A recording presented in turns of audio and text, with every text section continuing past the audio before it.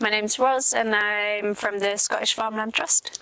So can you explain a little bit the context of, of Scotland and, and the, what the, the historical land use is there? Or?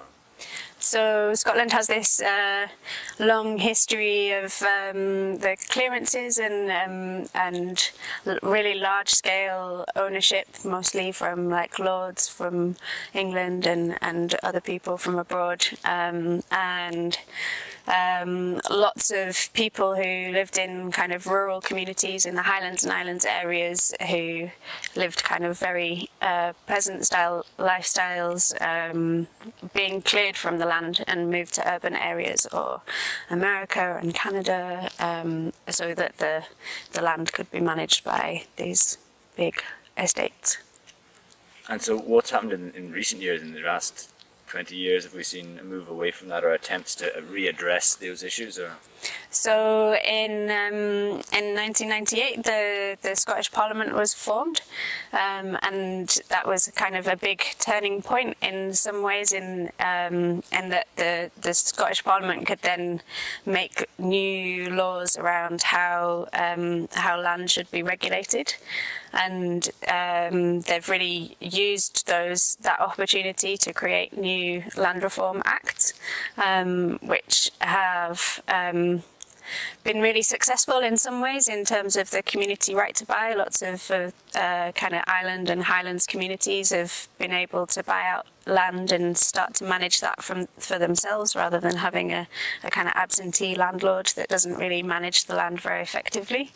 Um, uh, and that that legislation initially covered like the kind of north and west of Scotland. Um, so it didn't so much cover the more productive agricultural land in the east and south of Scotland. Um, but more recently, there, there has been another land reform bill that's um, extended the right to buy for communities to the whole of Scotland. Um, that was just in 2015, and the, the legislation is still kind of settling in, so it remains to be seen what will happen. Um, but in terms of uh, agricultural land, especially the the um, that hasn't kind of been impacted or touched so much buy some of that legislation, and there's there's still uh, a kind of increasing concentration of ownership of agricultural land in Scotland. When you say community by uh, purchase, does that mean uh, local uh, local government or community group, or does, can you just explain a little bit of how that would work? So it's a it's not a public body; it's a community organisation that would set up as a as a company or a charity or um, uh, as a body that has then. Um, people with a, a, board that has a democratic decision making process um, and uh, they they then uh, kind of take over the the management of the asset or the land uh, and uh, try to be as uh, inclusive and democratic within that community as as possible. But it's a it's not a, a public body. They would purchase the land then, or they would have to. So they would mm -hmm. have to. Okay. Yeah. And is there a mechanism for that in terms of low interest, zero interest loans, or anything like that? Or, I mean, there's a Scottish Land Fund which was established by the government, which uh, the communities can apply to for the purchase price of the land.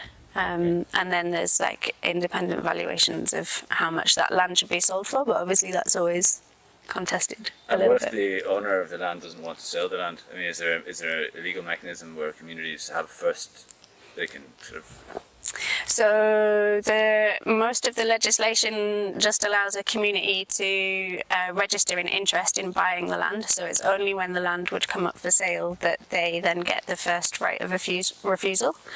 Um, but for crofting communities, they can uh, preemptively purchase the land. So even if the landlord doesn't want to sell, if they can argue their case strongly enough, then they have the they they can force the sale. Um, and now the new legislation from 2015 and 16 also creates a preemptive right to buy uh, for abandoned and neglected land if the community can prove that it is better for the sustainable development goals of the local area. So there's a lot of testing to be done and okay. work to prove that.